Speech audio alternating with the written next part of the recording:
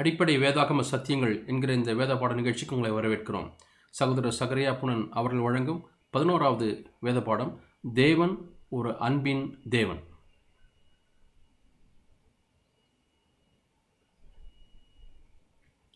நாம் சில அடிப்படை கோட்பாடுகளை நாம் வேதத்திலிருந்து பார்த்து கொண்டிருக்கிறோம்.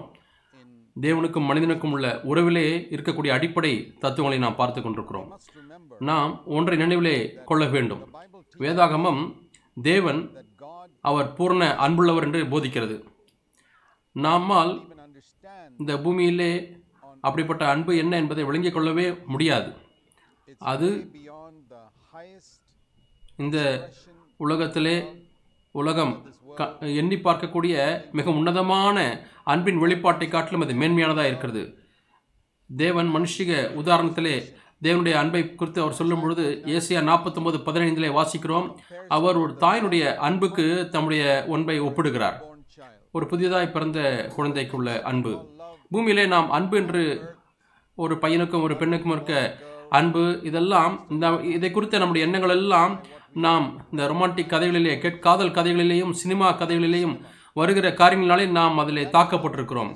ஆனால் அது மேன்மையான ஒரு அன்பின் வெளிப்பாடு அல்ல. ஒரு பையனோ ஒரு பெண்ணோ அவர்கள் ஒருவருக்காக ஒருவர் தியாகம் பண்ணுவதற்கு அவர்கள் தயாராமல் இருக்கலாம். ஆனால் ஒரு தாய் தன்னுடைய புதிதாய் பிறந்த குழந்தைக்கு எவ்வளவோ தியாகம் செய்வதற்கு அவர்கள் மனமுள்ளவராக இருக்கிறார்கள். தேவன் தம்முடைய அன்பை குறித்து பேசும்பொழுது அவர் தம்முடைய அன்பு ஒரு புதிதாய் பிறந்த ஒரு குழந்தைக்கு தாயின் மீது இருக்கக்கூடிய தாய்க்கு இருக்கக்கூடிய அன்பை குறித்து அவர் ஒப்பிட்டு சொல்கிறார். அதிலும் குறிப்பாக முதல் குழந்தை அந்த குழந்தையின் மீது அந்த தாயினுடைய அன்பு அவ்வளவு அதிகமாக இருக்கும். அந்த அம்மாவுக்கு தெரியும் அந்த குழந்தை எவ்வளவோ தன்னுடைய நேரங்களை அது எடுத்துக்கொள்ளும் எவ்வளோ தியாகங்களை அந்த தாய் செய்ய வேண்டும். ஆனாலும் அந்த தாய் மனம் மனமோந்து செய்கிறார்கள். இது ஒரு சிறு காட்சி. தேவன் மனிதன் மீது இருக்கக்கூடிய மிகப்பெரிய அன்பினுடைய ஒரு சிறு காட்சி. இதை நாம் விளங்கிக் கொள்ளவில்லை என்றால் நாம் தேவனை குறித்தும் தேவனுடைய அன்பை உண்மையான கிறிஸ்தவ விசுவாசத்தை குறித்தும் தவறான கருத்தை நாம் பெற்றுக்கொள்வோம். கிட்டத்தட்ட இந்த உலகத்தில் இருக்கக்கூடிய எல்லா மதங்களுமே ஒரு தேவனை அறிவிக்கிறது. அந்த தேவன் அந்த தெய்வம் அவர் கண்டிப்பானவர் அவர் நியாயாதிபதி என்று அது உலகம் சொல்லுகிறது. அநேக மக்கள் தேவனை குறித்து எண்ணும் பொழுதெல்லாம் அவர் ஒரு போலீஸ்மனை போல அல்லது ஒரு நீதிபதியைப் போல ஏதாவது தவறு செய்துவிட்டால் பிடிப்பதற்கு வரக்கூடியவரை போல எண்ணுகிறார்கள். ஆனால் மெய்யான தேவனுடைய வெளிப்பாடு வேதத்தில் எப்படி இருக்கிறது என்று சொன்னால் குறிப்பாக இயேசு கிறிஸ்தின் மூலமாய் இயேசு கிறிஸ்து இந்த பூமிக்கு வந்ததன் மூலமாய் கொண்டு வந்த வெளிப்பாடு எப்படி இருக்கிறது என்று சொன்னால் அவர் நம்மை நேசிக்கக்கூடிய அதிகமாய் நேசிக்கக்கூடிய ஒரு தேவனைத்தான் அவர் வெளிப்படுத்தியிருக்கிறார். இயேசு தொடர்ந்து தம்முடைய சீஷர்களுக்கு தேவன் ஒரு தகப்பன் என்பதை அவர் விளங்க செய்திருக்கிறார்.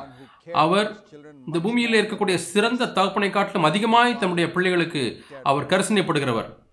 இயேசு கிறிஸ்து இந்த ஒரு வெளிப்பாட்டை இந்த வாசகத்தை அவர் பயன்படுத்தியிருக்கிறார். அதாவது மத்திய ஏழாம் அதிகாரத்திலே. அவர் என்ன சொன்னார் என்று சொன்னால் பொல்லாத தகப்பன்மா இருக்க இருக்கக்கூடிய நீங்களே உங்கள் பிள்ளைகளுக்கு நல்ல இவங்களை கொடுக்க அறிந்திருக்கும் பொழுது உங்கள் பரம தகப்பன் எவ்வளவு நல்ல இவங்களை அவரிடத்தில் கேட்கிறவர்களுக்கு தருவார். அது எவ்வளவு நிச்சயம் என்று சொல்லப்பட்டிருக்கிறது. ஆகவே இந்த பூமியிலே இருக்கக்கூடிய மிக சிறந்த ஒரு தகப்பனே அவர் பொல்லாதவராக இருக்கிறார். தேவனை பா ஒப்பிட்டு பார்க்கும் பொழுது என்று நாம் வாசிக்கிறோம். இதுதான் இந்த மத்திய ஏழாம் அதிகாரத்திலே அவருடைய வாசகத்தினுடைய விளக்கமாக இருக்கிறது. நீங்கள் இந்த பூமியிலே சிறந்த தகப்பனாக இருந்தால் நீங்கள் தேவனை காட்டிலும் நீங்கள் தேவனோடு ஒப்பிட்டு பார்க்கும் பொழுது உங்கள் நீங்கள் பிள்ளைகளுக்கு கொடுக்கக்கூடிய விஷயத்திலே நீங்கள் பொல்லாதவர் என்று வாசிக்கிறோம். ஒரு சூரியனுடைய ஒளியை பார்க்கலும் ஒரு நட்சத்திரத்தை ஒளியை பார்க்கும்போது அது இருளை போல தான் இருக்கிறது. ஆகவே சூரியன் வரும்பொழுது அந்த நட்சத்திரனுடைய ஒளியெல்லாம் மறைந்து போகிறது. அந்த சூரிய வெளிச்சம் அவ்வளோ பிரகாசமா இருக்கிறது அப்படின்னாலே அந்த நட்சத்திரங்களுடைய வெளிச்சம் மங்கி போகிறது. அதே போலத்தான் ஆண்டவர் இந்த பூமியினுடைய சிறந்த தகப்பனுடைய அன்பு தேவனுடைய அன்பை பார்க்கும் பொழுது அது மறைந்து போகிறது. அந்த அளவுக்கு தான் குறைவாக இருக்கிறது என்று நாம் பார்க்கிறோம். இதுதான் நாம் தேவனோடு கூட உள்ள உறவிலே வருவதற்கு இது அடிப்படையாக இருக்கிறது. அநேக கிறிஸ்தவர்களுக்கு இந்த தெளிவான ஒரு விளக்கம் தேவனை குறித்த தெளிவான விளக்கம் உள்ளத்தில் இல்லாதபடினாலே தான் அவர்கள் பாதுகாப்பற்ற உணர்வோடு கூட பயத்தோடு கூட காணப்படுகிறார்கள். ஒரு குற்ற உணர்வு அவர்களிடத்தில் இருக்கிறது. தேவன் எப்பொழுதுமே நீ போதுமானமாய் போதுமான நல்லவனாக மாறவில்லை என்று சொல்லுகிறது போல உணர்கிறார்கள். இது அதோடு நின்று விடாமல் மற்றவர்களோடு கூட இருக்கக்கூடிய உறவுகளையும் சிக்கல்களை விளைவிக்கிறது. உற- குடும்ப உறவினர்களோடு கூட மற்ற கிறிஸ்துவோடு கூடவும் உலகத்தில் உள்ள மற்றவர்களோடு கூட உள்ள இருக்கக்கூடிய உறவுகளிலே சிக்கல்களை கொண்டு வருகிறது. இந்த எல்லா பிரச்சனைகளுடைய ஒரு வேர் என்னவென்றால் இந்த புது உடன்படிக்கை புது ஏற்பாடிலே தேவன் வெளிப்படுத்துகிறது அல்லவா? அதை நாம் அறிந்து கொள்ளாமல் போவது நிமித்தமாகத்தான். தேவன் நமக்காக திட்டம் பண்ணி இருக்கக்கூடிய ஒவ்வொரு காரியத்திலேயும் தேவன் வேதத்திலே போதிக்கிற ஒவ்வொரு காரியத்தையும் நாம் இந்த வெளிச்சத்திலே இந்த அன்பின் வெளிச்சத்திலே நாம் விளங்கிக் கொள்ள வேண்டும். இல்லாவற்றால் அதை தவறாய் நாம் விளங்கிக் கொள்ள முடியும். அவர் பாவத்தை விட்டுவிடு என்று அவர் நம்மிடத்தில் சொல்லும் பொழுது ஏன் சொல்லுகிறார்? நம்மை நேசிக்கிற அப்படின்னாலே. ஒரு தகப்பன் தன்னுடைய பிள்ளைகளை பார்த்து நீ சில இடங்களுக்கு போகக்கூட வேண்டாம் போகக்கூடாது அது ஆபத்தான இடங்கள் என்று சொல்லுவார். சில காரியங்களை செய்யக்கூடாது அது தீமை விளைவிக்கிறது என்று சொல்லுவார். சில மக்களோடு கூட நீ பழகக்கூடாது. அவர்கள் உனக்கு வாழ்க்கையிலே பிரச்சனை உண்டாக்கி விடுவார்கள் அதே போலதான் தேவனும். ஆனால் ஒரு குழந்தை தன்னுடைய அப்பா சொல்லுவதை நம்பவில்லை என்று சொன்னால் அடிக்கடி அப்படிதான் நம்புவதில்லை. அநேக பதின் பருவத்தில் உள்ளவர்கள் பருவ பிள்ளைகள் பேர அப்ப பெற்றோரை நம்புகிறதில்லை. பெற்றோர் எதை தடை செய்கிறார்களோ அதை அவர்கள் போய் செய்து அதனுடைய விளைவுகளை அனுபவிக்கிறார்கள். எத்தனையோ பிரச்சனைகளிலே மாட்டிக்கொள்கிறார்கள். இதைத்தான் நாம் மனுஷ வர்க்கத்திலே பார்க்கிறோம்.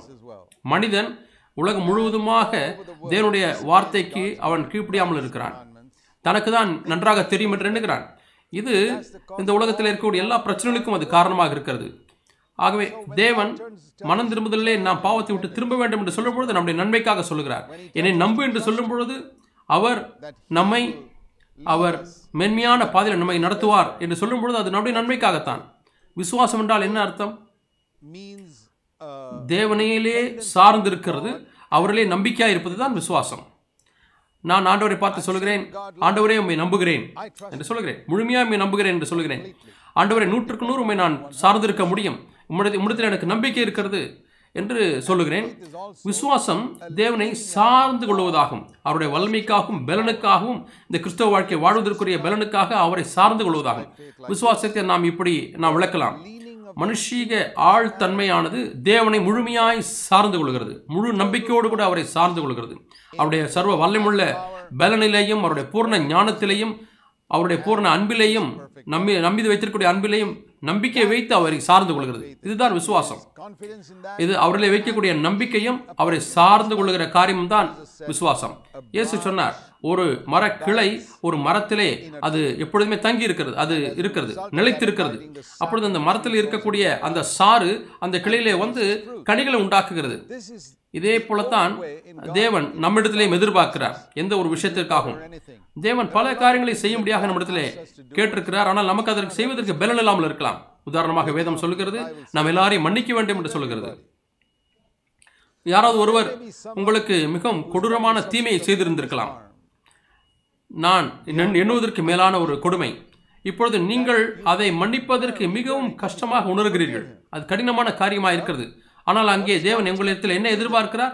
நீங்கள் அந்த இடத்துல போராடி போராடி பிரயாசப்பட தேவையில்லை. அவனை மன்னிப்பதற்காக போராடி பிரயாசப்பட தேவையில்லை. நீங்கள் தேவனிடத்திலே போக வேண்டும். ஆண்டவரே அந்த மர கிளையானது எப்படி கொடியானது செடியில் நிலைத்திருந்தால் அது கனி கொடுக்கும்? நிலைத்திராவிட்டால் கனி கொடுக்க முடியாதோ? அதே போல ஆண்டவரே நான் இப்பொழுது இந்த நபரை மன்னிப்பதற்கு என்னால் முடியாது இருக்கிறது ஆண்டவரே. நான் மன்னிக்க விரும்புகிறேன். என்னால் முடியவில்லை. ஆனால் உண்மையிலே நான் நிலைத்திருந்தால் அந்த மரத்திலிருந்து கிளைகளுக்கு எப்படி இந்த சாறு வருகிறதோ பரிசுத்த ஆவியானுடைய வல்லமையானது எனக்குள்ளாகவும் பாய்ந்து செல்ல முடியும். அதே இயேசு கிறிஸ்துவில் இருந்த அதே ஆவியானவர் அவர் சிலுவிலை தொங்கிக் கொண்டிருக்கும் பொழுது இயேசு கிறிஸ்து அவர் ஜனங்களை மன்னித்தார். மிகவும் கொடூரமான காரியத்தை செய்த மக்களை அவர் மன்னித்தார். எந்த ஒரு மனிதனும் இன்னொரு மனிதனுக்கு செய்யக்கூடிய கொடூரமான காரியம். அவர்களை பார்த்து இயேசு என்ன சொன்னார்? பிதாவே இவர்கள் தாங்கள் செய்கிறது என்னது அறியாதிருக்கிறார்கள். இவர்களுக்கு மன்னியும் என்று உள்ளத்தின் ஆழத்திலிருந்து சொன்னார். ஏனென்றால் அவர்களை நேசித்தார். அதே ஆவி அது நமக்குள்ளாக பாய்ந்து செல்லும் பொழுது என்னுடைய உள்ளத்தில் அது வரும்பொழுது அதே போன்ற ஒரு மனப்பான்மையை தான் உண்டாக்கும். ஆகவே மெய்யான கிறிஸ்தவம் என்பது அது ஒரு குறிப்பிட்ட தரத்திற்கு ஏற்றவாறு வாழ்வதற்கு செய்யக்கூடிய முயற்சி அல்ல வேதம் சொல்லுகிறது பழைய ஏற்பாட்டு காலத்திலே தேவன் இஸ்ரவேல் தேசத்தோடு கூட இடைப்பட்டு கொண்டிருந்தார் அவர்களுக்கு பத்து கற்பனைகளை கொடுத்தார். அதோடு கூட சில பிரமாணங்களையும் கொடுத்தார்.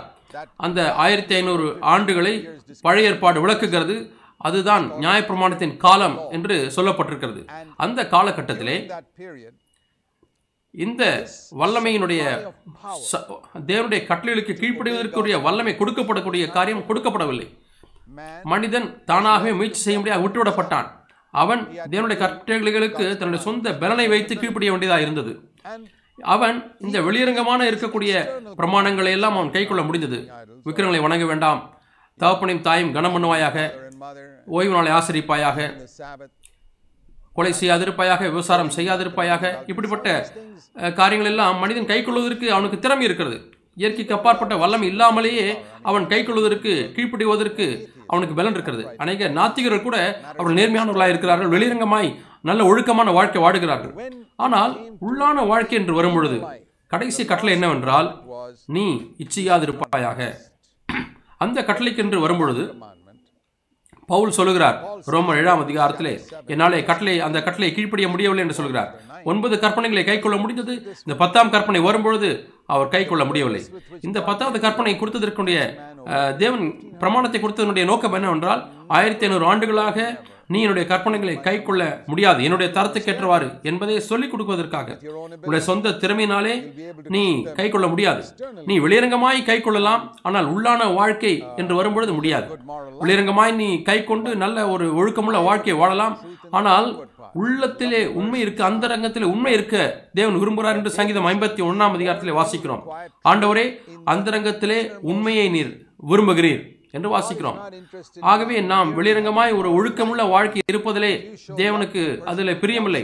ஒரு நபரை வெளியே நாம் நேசித்து விட்டு உள்ளே பகை வைத்திருந்தால் தேவன் அதை விரும்புவதில்லை. அது தேவனுடைய தரம் அல்ல. நம்முடைய அன்பானது உள்ளே இருந்து வெளியே பாய்ந்து செல்ல வேண்டும் என்று விரும்புகிறார். அது பழைய ஏற்பாட்டிலே கூடாத காரியமாயிருந்தது ஏனென்று சொன்னால் மனிதனுக்கு அந்த வல்லமை இல்லை. கிறிஸ்துவனுடைய மரணம் அவருடைய உயிர்த்தல் மூலமாய் வந்த ஒரு காரியம் என்னவென்றால் அவர் பரலோகத்துக்கு சென்று அவர் அங்கிருந்து பரிசுத்த ஆவியானவரை பூமிக்கு அனுப்பினார். நமக்குள்ளாக வந்து வாழும்படியாக நமக்கு இந்த சக்தியை கொடுக்கும்படியாக அவர் வந்தார். அப்பொழுது நாம் தேவனுடைய தரத்துக்கேற்றவாறு வாழ்க்கை வாழ முடியும். ஆகவே தான் இந்த புது உடன்படிக்கை காலத்திலே அப்போ சில நடவடிக்கைகள் இரண்டாம் அதிகாரம் வெந்தகோசை நாளிலிருந்து கிறிஸ்தவர்கள் இப்பொழுது அவர்களுக்கு அந்த வல்லமை இருக்கிறது. எப்பொழுது என்று சொன்னால் அந்த வல்லமைக்காய் தங்களை திறந்து கொடுக்கும் பொழுது. அப்பொழுது தேவனுடைய எல்லா கற்பனைகளையும் உள்ளான விதத்திலிருந்து கைக்கொள்ள முடியும். அது பழைய ஏற்பாட்டில் இருந்த மிகப்பெரிய மனிதனுக்கு கூட அது கூடாத காரியமாக இருந்தது. ஆகவே தான் இயேசு சொல்கிறார் மத்திய பதினோராம் அதிகாரத்தில் ஒரு முறை சொல்கிறார் அவர் யோவான் ஞான யோவான் ஸ்நானனை குறித்து தம்முடைய சீஷத்தில் பேசிக் கொண்டிருக்கிறார். மத்திய பதினோராம் அதிகாரத்திலே. பதினோராம் வசனம். அவர் சொல்லுகிறார் இந்த ஸ்திரீகளிடத்திலே பிறந்தவர்களை மிகப்பெரிய மனிதன் யோவான் ஸ்நானகன் தான் ஆதாமிலிருந்து கிறிஸ்து வரை அவரை காட்டிலும் பெரியவர் யாருமே இல்லை என்று சொல்லுகிறார். யோவான் ஸ்நானகன் தான் ஸ்திரீகளின் வயிற்றிலே பிறந்தவர்களே பெரியவர் என்று சொல்லுகிறார். ஆனால் அவர் சொல்லுகிறார் பரலோகத்திலே இந்த புது ராஜ்யத்திலே தேவ- தேவனுடைய ராஜ்யத்தில் இருக்கக்கூடிய சிறியவன் யோவான் யோவான் ஸ்நானங்களை காட்டிலும் பெரியவனாய் இருப்பான் இன்னொரு வார்த்தையில சொல்ல போனால் இப்பொழுது ஒரு புது யுகம் ஆரம்பித்திருக்கிறது. இந்த யுகத்திலே மனிதன் மிகவும் பழைய ஏற்பாட்டிலே வாழ்ந்த மிகப்பெரிய மனிதர்களை காட்டிலும் மேலான நிலைக்கு மனிதன் வாழ முடியும் எழும்ப முடியும். ஆதாம் வந்து கிறிஸ்துவ வரைக்கும் இருந்த பழைய உடன்படிக்கையிலே உள்ள பெரிய மக்களை காட்டிலும் மேலாக எழும்ப முடியும். நமக்கு அந்த திறனை திறம் இருக்கிறது அந்த பலன் இருக்கிறது. அந்த அதற்கு வேண்டிய காரியங்களை தேவன் நமக்கு கொடுக்கிறார். இது மிகவும் தனித்துவமாக இருக்குது. இதுதான் வேதம் சொல்லுகிறது புது உடன்படிக்கை என்று. அநேக கிறிஸ்தவர்களுக்கு இது தெரிவதில்லை. என்றால் அவர்களை கண்களை குருடாக்கி இருக்கிறார் ஆகவே அநேக கிறிஸ்தவர்கள் அவர்கள் பழைய ஏற்பாட்டு பழைய உடன்படிக்கை கிறிஸ்தவருடைய பழைய உடன்படிக்கை மக்களுடைய தரத்திலே வாழ்ந்து கொண்டிருக்கிறார்கள் அதை காட்டிலும் கீழே வாழ்ந்து கொண்டிருக்கிறார்கள். பழைய உடன்படிக்கையில பாருங்கள் எவ்வளவு தேவபக்தியுள்ள மக்கள் வாழ்ந்திருக்கிறார்கள். மோசே எலியா போன்றவர்கள் யோவான் ஸ்நானகன் இவர்கள் எல்லாரும் மிக தேவபக்தியுள்ளவர்களாக இருந்தார்கள் ஆகவே இன்றைக்கு கிறிஸ்தவர்கள் அவர்களை காட்டில மேலான ஒரு தரத்திலே வாழ்ந்து கொண்டிருக்கிறார்கள் சொல்ல முடியுமா? இல்லை. ஏனென்று சொன்னால் அவர்கள் புது உடன்படிக்கை அவர்களை எப்படிப்பட்ட வாழ்க்கைக்குள்ள நடத்தும் என்பதை விளங்காதிருக்கிறார்கள். தேவன் நமக்கு மன்னிப்பை மட்டும் நம்முடைய பாவங்களிலிருந்து மன்னிப்பை மட்டும் அவர் நமக்கு கொடுக்கவில்லை. நாம் முன்னதே அதை பார்த்தோம். அவர் நமக்கு பலனையும் கொடுக்கிறார். எதற்கு என்று சொன்னால் நம்முடைய வாழ்க்கையில் இருக்கக்கூடிய பாவத்தை மேற்கொள்வதற்கு. ஒவ்வொரு வேதத்திலே சொல்லப்பட்டிருக்கக்கூடிய கட்டளிடப்பட்டிருக்கக்கூடிய ஒவ்வொரு கட்டளைக்கும் கீழ்ப்படியும்படியாக அவர் பலத்தை கொடுத்திருக்கிறார். தேவன் எப்பொழுதுமே நம்முடைய இச்சைகள் பாவத்தினுடைய இச்சைகள் நம்முடைய மாம்சிலே காணப்படக்கூடிய இச்சைகள் பிசாசுக்கு விரோதமாக எப்பொழுதும் நம் பக்கமாக அவர் இருக்கிறார். அதாவது நாம் தேவன் எப்படி நாம் மாற வேண்டும் என்று விரும்புகிறாரோ அப்படி மாற முடியாததற்கு தடையா இருக்கக்கூடிய ஒவ்வொரு சக்திக்கும் எதிராக அவர் இருக்கிறார். தேவன் உங்கள் வாழ்க்கைக்கென்று ஒரு திட்டம் வைத்திருக்கிறார். அவர் தம்முடைய குமாரனா இயேசு கிறிஸ்துவை போலவே உங்களுடைய குணாதிசயத்தில் அவர் மாற்ற விரும்புகிறார். அது மட்டுமல்ல அந்த நோக்கத்தை நிறைவேற்றுவதற்காக உங்களுடைய வாழ்க்கையில் நிறைவேற்றுவதற்காக அவர் பரிசுத்த ஆவியானவரை அனுப்பியிருக்கிறார். நாம் இதற்கு முன்பாக உள்ள வேத பாடத்திலே பார்த்தது போல தேவன் ஒரு காலம் யாரையும் நிர்பந்திப்பதல்ல யாரையும் கட்டாயப்படுத்துகிற தேவன் அல்ல. அவர் உங்களுடைய வாழ்க்கையிலும் என்னுடைய வாழ்க்கையிலையும் எந்த அளவுக்கு நாம் நம்மை இசைந்து கொடுக்கிறோமோ விட்டு கொடுக்கிறோமோ அந்த அளவுக்கு தான் அவர் கிரியை செய்ய முடியும். heart உங்களுடைய இருதயத்தை ஒரு ஹோட்டல் கட்டடத்திற்கு ஒப்பிடலாம். அந்த ஹோட்டலிலே ஒரு ஆயிரம் அறைகள் இருக்கிறது. அதில் ஆயிரம் அறைகள் இருக்கிறது அநேக மாடிகள் இருக்கிறது. நீங்கள் ஒரு தூரத்திலிருந்து அந்த கட்டடத்தை பார்க்கிறீர்கள். அதில் ஒரே ஒரு அறையிலே ஒரு விளக்கு எரிந்து கொண்டிருக்கிறது ஒளி இருக்கிறது. ஆகவே இப்பொழுது நீங்கள் சொல்லலாம் அந்த ஹோட்டலிலே ஒளி இருக்கிறது என்று சொல்லலாம். ஆனால் ஒரே ஒரு அறையிலே மட்டும்தான் ஒளி இருக்கிறது.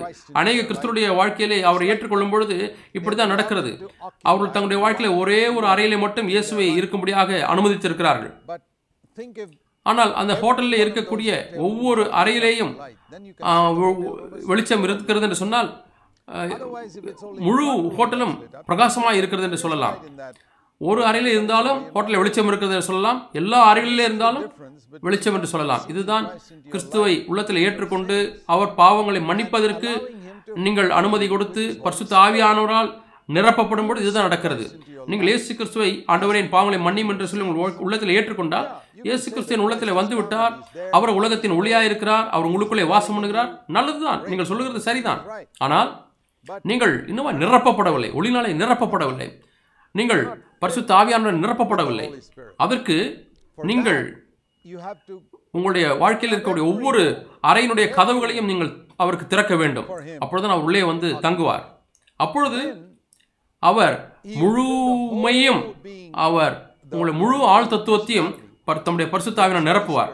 அதோடு மட்டுமல்ல நீங்கள் வேதம் சொல்லுகிறபடி அப்போ சில நடவடிக்கைகளிலே சில மக்கள் பரிசுத்தாவின் நிறைந்தவர்களாக இருந்தால் என்று சொல்லப்பட்டிருக்கிறது. நீங்கள் அந்த வாசகத்தை அப்போ நடவடிக்கையில் நீங்கள் வாசித்திருக்கலாம். பரிசுத்தாவினாலே நிறைந்தவர்களாக இருந்த மனிதர்கள் என்று வாசிக்கிறோம். அவர்கள் நன்றி நிமித்தமாக தங்களை முழுமையாக தேவனுக்கென்று ஒப்பு கொடுத்தவர்கள் ஒவ்வொரு தங்கள் வாழ்க்கையில் இருக்கிற ஒவ்வொரு பகுதியையும் ஆண்டவருக்கென்று ஒப்பு கொடுத்தவர்கள் அதனுடைய விளைவு என்னவென்று சொன்னால் பரிசுத்த ஆவியானவர் தங்கள் ஒப்பு கொடுத்த எல்லா பகுதியையும் அவர் ஆட்கொண்டு விட்டிருக்கிறார் ஆட்கொண்டிருக்கிறார்.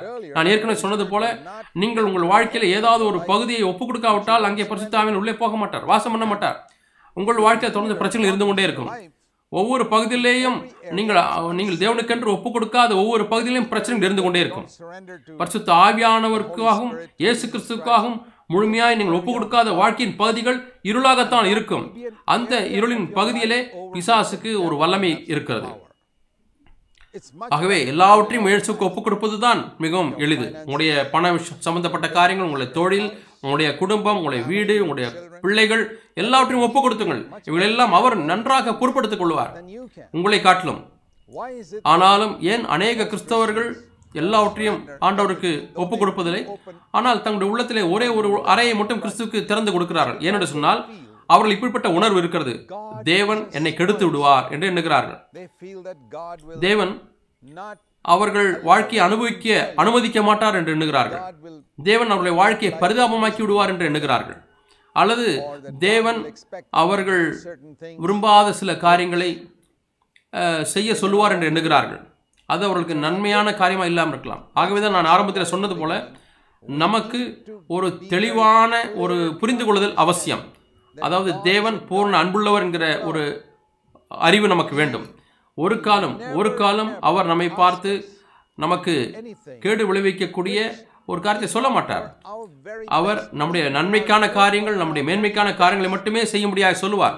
சொல்லப்போனால் வேதம் சொல்லுகிறது தேவன் எல்லாவற்றையும் நமக்கு உள்ளாக இருக்கக்கூடிய எல்லா காரியங்களையும் நன்மைக்கு எதுவாக நடக்க பண்ணுகிறார் என்று வாசிக்கிறோம். நமக்கு மேன்மையான காரியத்தை சிறந்த காரியத்திற்காகவே சகல காரியங்களும் நடக்க செய்வார் என்று ரோமர் எட்டாம் அதிகாரம் இருபத்தெட்டாம் வசனத்தில் வாசிக்கிறோம். தேவன் சகலவற்றையும் நம்முடைய நன்மைக்காகவே நடக்க பண்ணுவார் என்று வாசிக்கிறோம்.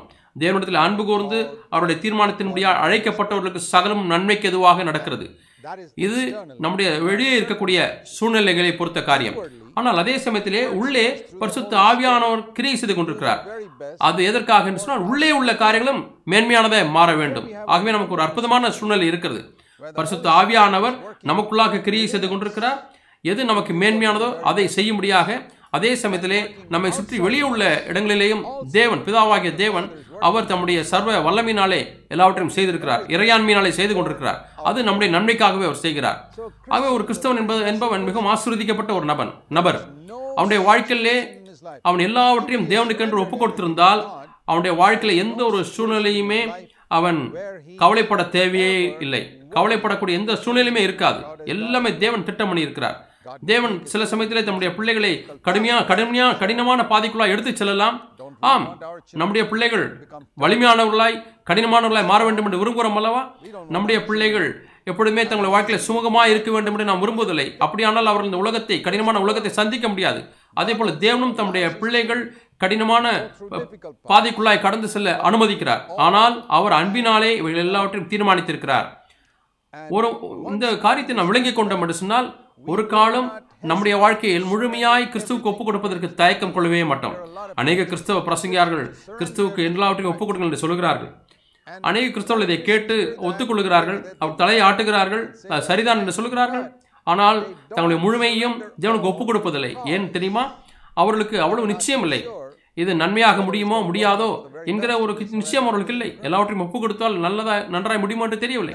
ஆகவே தான் நாம் இந்த இயேசு கிறிஸ்து நமக்கு முக்கியத்துவப்படுத்தி சீஷர்களுக்கு முக்கியத்துவப்படுத்தி சொல்லக்கூடிய இந்த சத்தியத்தை நாம் பற்றி பற்றி கொள்ள வேண்டும்.